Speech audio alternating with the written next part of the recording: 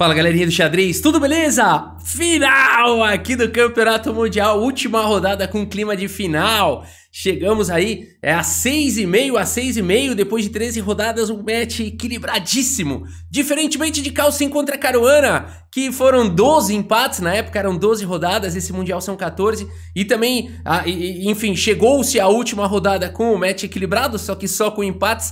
Nesse Mundial entre o Nepo e o Jinglirin, a gente teve uma quantidade enorme de vitórias. Um match emocionante, os jogadores jogando aí para ganhar. E essa pode ser, portanto, a definição do Campeonato Mundial. Porque pode ser, porque se empatar, aí amanhã teremos o, o desempate. Match de quatro partidas rápidas, 25 minutos para cada jogador, 10 segundos de acréscimo por lance.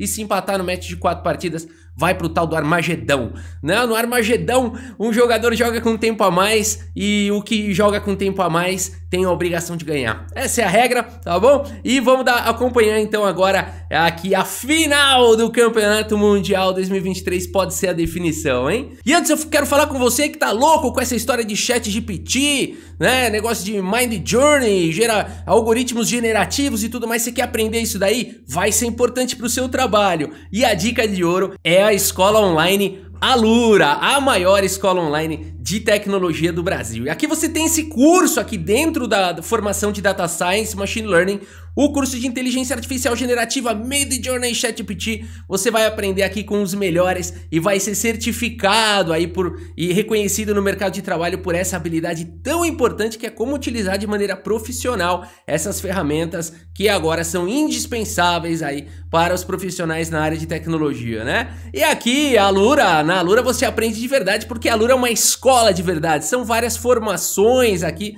e você escolhe uma formação que vai te dar ali cursos, uma sequência ordenada, planejada de cursos para que você aprenda novas habilidades, tenha novos certificados e seja reconhecido no mercado de trabalho, tanto para ingressar quanto para conseguir aquele tão sonhado upgrade. E para a galerinha do canal Xadrez Brasil tem desconto usando o link que está aqui na descrição do vídeo, tá bom? Então aproveita aí para garantir o seu desconto. Fica a dica. Vamos para a final, vamos lá! Jing Liren tem as peças brancas e abre aqui com Peão dama jogada aqui pelo Ding.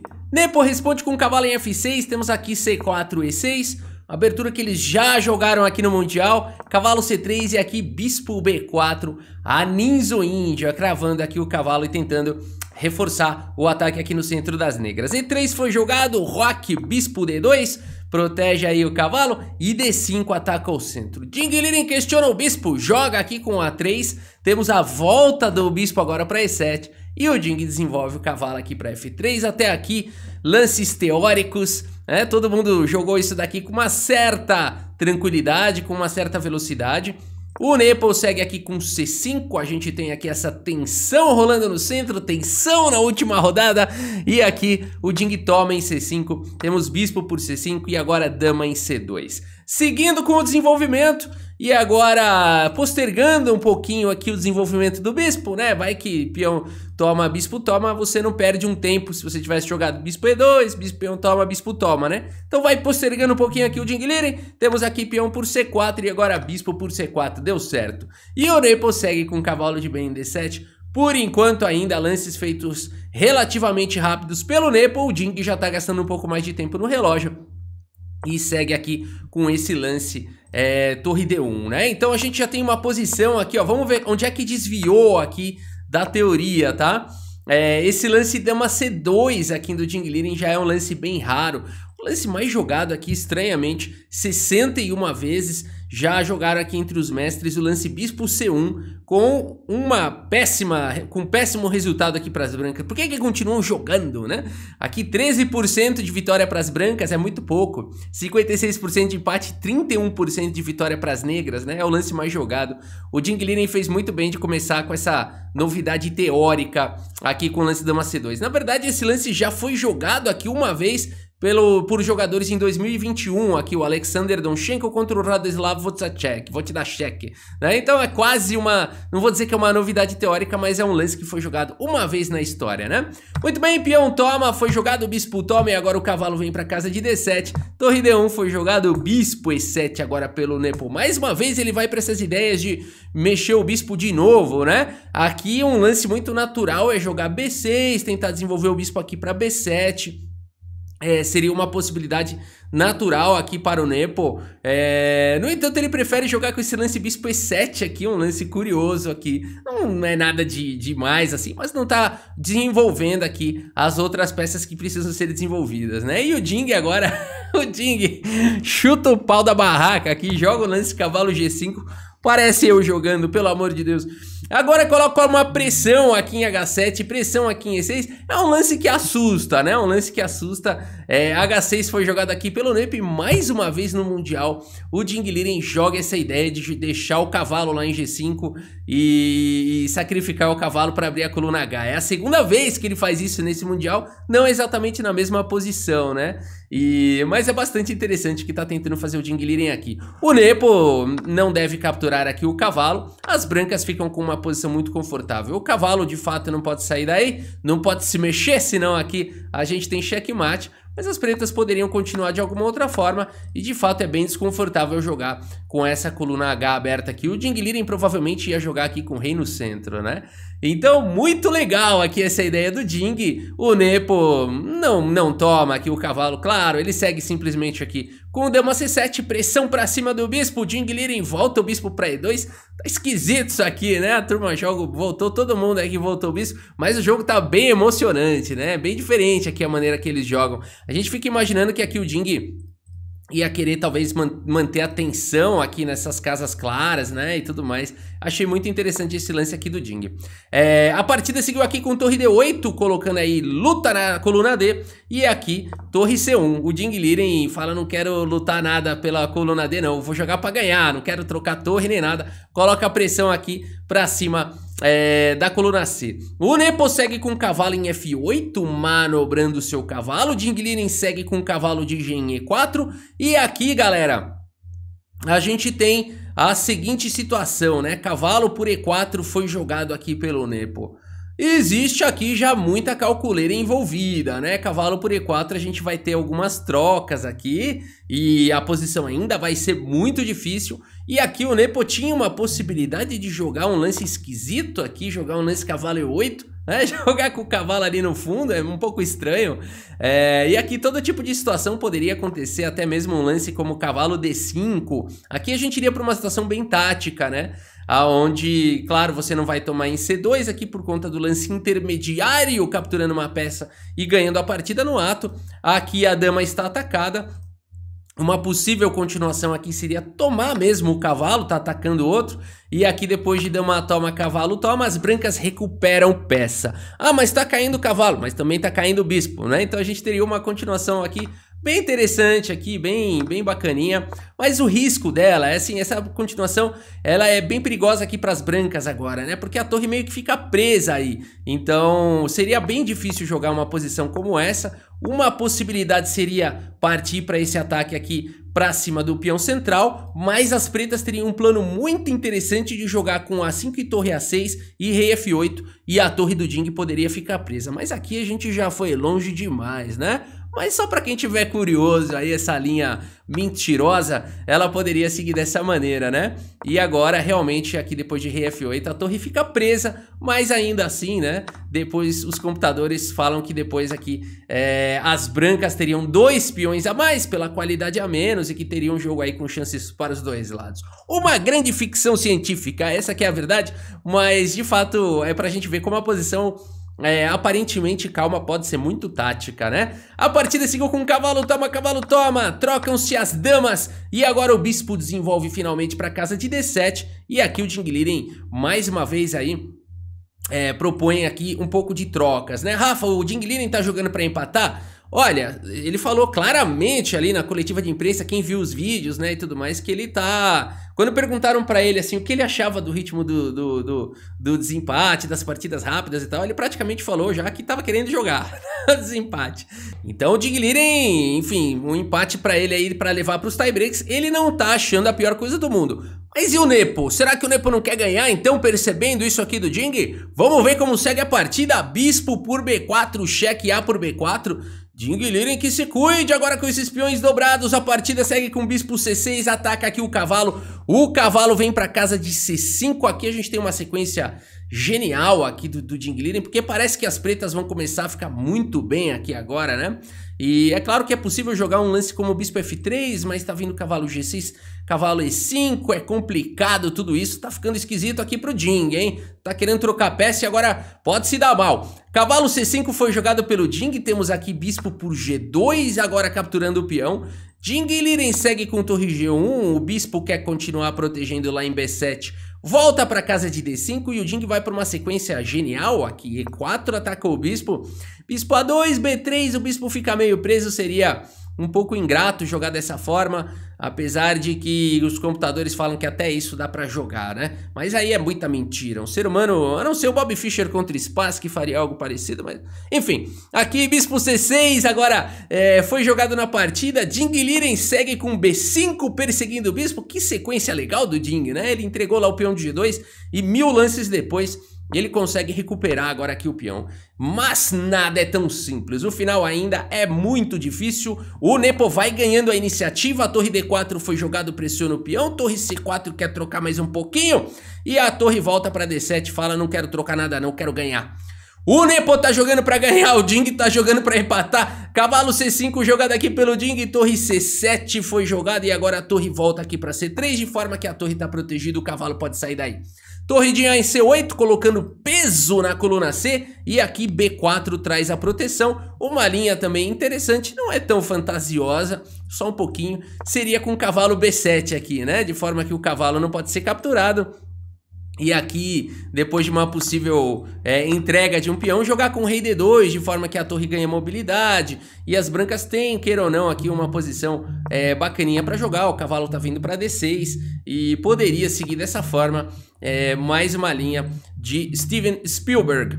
É, a partida do grande mestre Steven Spielberg. A partida seguiu, essa surgiu hoje. A partida seguiu com B4. Ding Liren aqui protege muito bem o seu cavalo. Só que agora o cavalo realmente não pode se mexer e a partida seguiu com o cavalo D7 aqui. Tá esquisito pro Ding!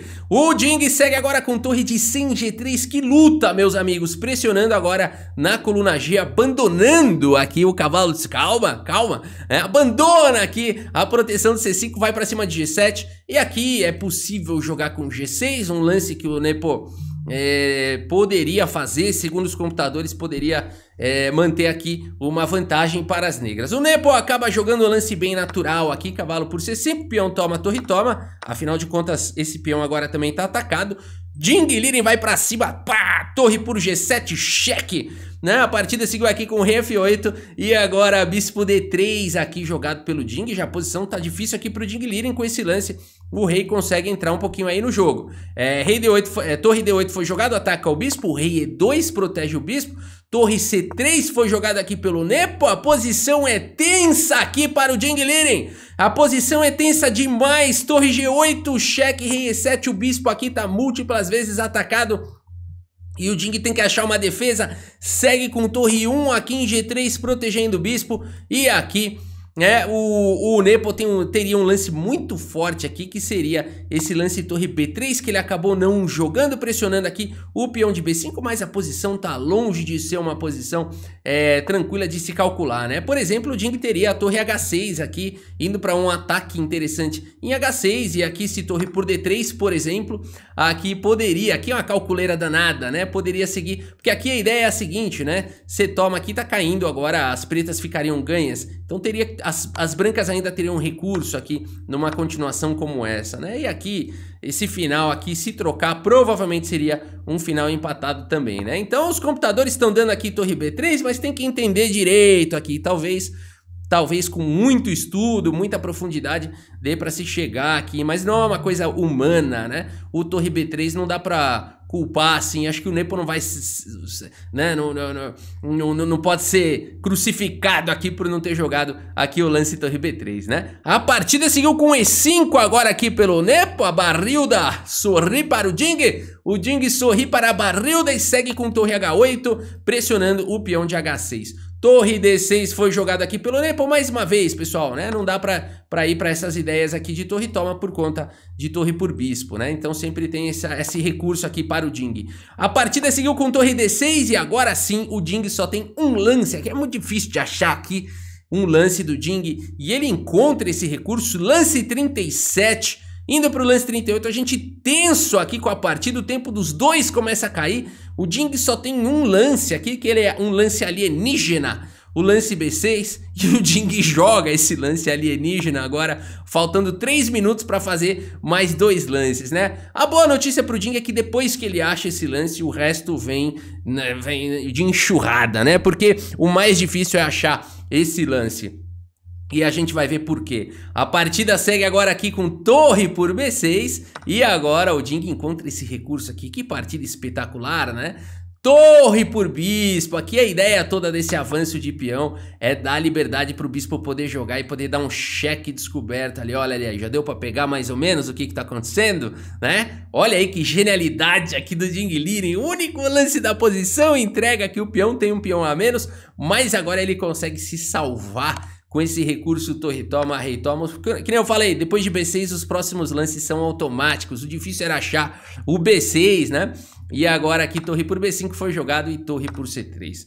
Lance 41, todo mundo ganhou mais uma carambada de tempo aí no relógio, né? E agora a partida segue Ding Liren com peão a menos, Nepo querendo ganhar. Espumando pela boca, segue aqui com o rei D7, Ding Liren rei F3, torre aqui em F3, a questão é pressionando aqui o peão, se, se, a, se o rei vier proteger o peão, o rei E7 foi jogado, a torre volta para C3, único lance da posição, único, aqui é que é bem natural, né? Mais uma vez ameaçando aqui ir para cima do peão. É, então, realmente são lances forçados, mas para sorte do Jing Liren aqui nesse momento, o lance é bem natural, por exemplo, você não vai jogar um torre A3, A5 aqui, pode não ser tão promissor. Portanto, torre C3, o Jing encontra o único lance, A5 foi jogado e a questão é, nesse tipo de final você não quer ter a torre aqui é, é, é, na frente aqui do peão, você tem que, você tem que pegar ela aqui né, por trás aqui, ela tem que estar tá ali em cima, né? Então, essa aqui é a manobra aqui do Jing, por isso torre C7 e agora torre C6, cheque,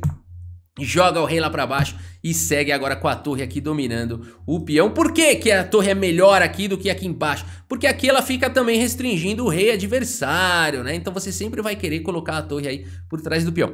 Torre B2 foi jogado, rei F3, torre em A2 protege o peão e aqui, galera, rei G3 e H5. H5 lance espetacular aqui do Nepo, não permitindo a entrada do rei em nenhum momento e evitando aqui, na verdade, o lance F4, né? Então aqui as brancas podem pensar em jogar um lance F4, mas depois de H5 já não fica legal, porque depois de H5, se você jogar F4, a torre te dá um cheque, o rei vai ter que se distanciar, cai o peão e já não dá mais para jogar F4, né? Então H5 é um belo de um lance e agora o Ding Liren tem que tomar muito cuidado. Por exemplo, um lance como F3 pode perder nessa posição, vai para uns finais aqui aonde de fato as pretas podem tentar levar o rei lá para dá uma volta gigantesca, vai para cima da torre, consegue se infiltrar na posição e o rei ganha a casa de E3 e ele pode, se por, por incrível que pareça, pode dar uma volta olímpica aí e fazer toda a diferença. Então o peão a longo prazo, a longuíssimo prazo, tem que ficar guardando a casa de E3. O Ding não pode tocar nesse peão. Muito difícil esse final, é muito mais fácil falando aqui agora para vocês, mas eu acompanhei uma análise de 15 minutos do Danilo Dubov com a Irina Crush para poder entender é isso que eu tô falando aqui para vocês, né? Então não é tão intuitivo, né? Mas esse peão não pode se mexer daí. Comentário de Dubov e na Crush, 15 minutos de análise. A partida seguiu com Torre A, pra vocês entenderem a complexidade aqui desse final. Jing Liren segue com Torre A8, Torre A1 aqui pelo Nepo, Rei G2, mais uma vez, o Ding entendeu essa questão aí do peão, sem ter os recursos computacionais e os 15 minutos, né, da Irina Crush, se bem que aqui ele gastou bastante tempo, né? Ele gastou, sim, ele não tinha o computador, não, não foi em 15 minutos, mas ele gastou aqui 20 minutos, é, mesmo assim um monstro, né? 20 minutos aqui para jogar o lance rei G2, e eu acho que nesses 20 minutos o Ding já entendeu alguma coisa, né? A 4 foi jogado torre, a 5 vai para cima do peão, F6, o melhor ainda está por vir, galera. Rei F3 foi jogado a 3, o Nepo vai disparando o peão passado, torre a 6, Ding Liren tenta manter a pressão, rei F7, o Nepo vai trazer o rei. O Jing Liren segue com rei E3, rei E8, não interessa pra onde esse rei vai, ele vai chegar na ala da dama. Rei E2 foi jogado, rei E7, rei F3, torre A2. O Nepo, espertamente, ele não se compromete em diretamente levar o rei pra ala da dama, porque ele tá de olho no controle de tempo. Quanto mais ele puder fazer o Ding pensar e deixar o Ding mal no relógio para depois poder jogar em cima do, do erro do Ding na pressa, melhor. E isso é xadrez, galera. Não tem nada de errado, não tem nada de antiético. É xadrez é presencial. É, de verdade, torneio. A partida segue com rei E3, torre A1, jogado agora pelo Nepo, dando mais um pouquinho de espaço para o peão avançar. Rei E2 foi jogado rei F7 pelo Nepo. E aqui rei F3 foi jogado torre A2. O Digliri só tem 5 minutos, o Nepo tem quase meia hora. Mas agora é o seguinte, lance 60 foi feito e o Ding ganhou mais 15 minutos no relógio. E a cada lance agora passa a ter 30 segundos de acréscimo por lance. Nepo segue com rei E7, a questão é, será que dá pra ganhar esse final com um peão a mais? Dingliren segue com rei F3, rei D7 e agora chegou a hora da verdade. Nepo abandona o peão, calma, abandona aqui o peão de F6, né? abandona o peão de F6 para apostar tudo aqui, tentar invadir aqui na área da dama e avançar o seu peão passado. Momento de tensão agora na partida, Jing Liren captura o peão de F6, único lance torre B2, deixa o peão avançar, torre A6 tenta segurar o peão, Torre B3 cheque jogado agora aqui pelo Nepo. O rei vai pra G2 e rei C7. Como é que faz pra segurar agora essa posição? O Ding tem que achar um lance, um único lance da posição. Se você quiser dar pause aqui e tentar encontrar o único lance que não perde no ato, vale a pena. E eu espero que você tenha encontrado o Ding Liren, pelo amor de Deus! E o Ding Liren encontra aqui o lance F4, galera. O único lance da posição F4. O Ding Liren joga bem rápido aqui, praticamente ao toque. Ele leva 10 segundos para achar esse lance aqui. Por isso ele tá disputando o Mundial, né? Por isso ele é um dos melhores aqui é, do mundo, né? Então F4 aqui jogado praticamente ao toque, o único lance da posição. Porque o rei tá encostando na torre. Se o branco não fizer nada, o rei vai esmagar essa torre, o rei vai chegar aqui, vai colar no peão, o peão vai avançar, vai promover, vai ganhar a partida. F4 aqui forçado para poder ter contra-jogo aqui com o peão passado. É isso que o Ding precisa fazer. E por F4 e 5 agora e o rei já não pode ficar tão... Agora o rei tem alguém aqui para cuidar. Um peão passado. A partida seguiu com o rei B7 torre A4. Ataca lá o peão, mas a torre também não pode vir para cima aqui do peão. Seria dramático, seria desastroso. Torre aqui por F4. As pretas aqui, é, segundo os computadores aqui, ainda, ainda tá equilibrado, mas entre seres humanos ficaria difícil aqui jogar um final é, como esse, né? O computador aceita tudo, né? Mas a partida seguiu aqui com torre A6, cheque, rei B5, Aqui torre A7, Ding Liren continua com um peão a menos, rei B6 persegue a torre, torre A8, o rei vem para casa de C5, a torre vem para casa aqui de A6, também é possível disparar aqui o peão para E6, o Ding Liren segue com torre A6. 5 minutos o Ding, 31 minutos o Nepo. Nepo segue atacando a torre, a torre se mantém aqui controlando, evitando o avanço do peão. Rei B6 persegue a torre de novo, a torre dá mais um passo para trás, rei C6, torre A6 cheque e rei D7 o Nepo passa o rei agora para outro lado. Rei F2, rei E7, temos aqui rei G2, o Ding espertamente vai mantendo o seu rei aí em F2 e G2. E agora temos ação, a torre vem para casa de E3. Rei F2, fica encostado aí na torre.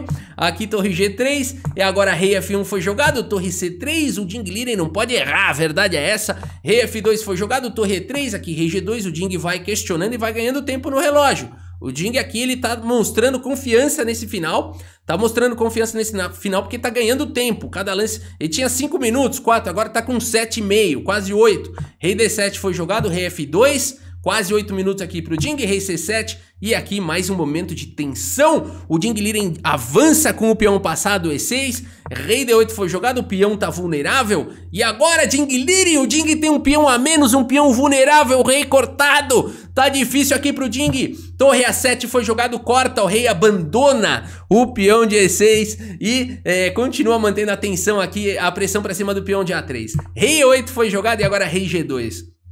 E agora um pouco mais de ação, torre por E6, torre por A3, e aqui caem os peões e de fato vai ficando mais claro aqui que o Ding vai ter que defender ainda um final muito difícil, porque agora ele tem dois peões a menos aqui o Ding Liren, pelo amor de Deus, Ding Liren, o Ding Liren segue com o rei F3, olha a torcida aqui do Ding, olha a torcida do Nepo. Rei F3 foi jogado em costa no peão. Aqui rei E7 foi jogado e torre agora em F5 pelo Ding no limite. Joga rápido esse final aqui o Ding, hein? Como ele joga, como ele entende de finais, né? E depois de torre por F4, meus amigos, as peças são guardadas na caixa.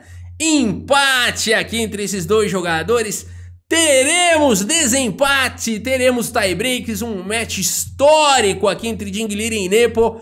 7 a 7, quem diria com muita emoção. Chegamos ao final aqui do match das partidas clássicas. E agora, Rafa? Amanhã teremos a partir das 6 da manhã as partidas rápidas, quatro partidas rápidas, 25 minutos para cada jogador, 10 segundos de acréscimo por lance, quatro partidas. Teremos live aqui no canal Xadrez Brasil, 6 da manhã, vamos estar tá lá de pijama, comendo queijo quente, tomando Todd aí para cobrir aí esse dia histórico do xadrez mundial aí, Ding Liren contra Nepo, os tie breaks e amanhã não tem jeito. Amanhã teremos o um novo campeão do mundo, amanhã o Magnus Carlsen sorrirá porque ele vai encontrar, ele vai descobrir quem será o próximo alvo. Mas é isso, galera. Espero que vocês tenham gostado aqui da partida do vídeo. Estão convidados para a live de amanhã, 6 da manhã. Muito obrigado pela sua audiência. Um grande abraço para todos vocês e até a próxima. Valeu!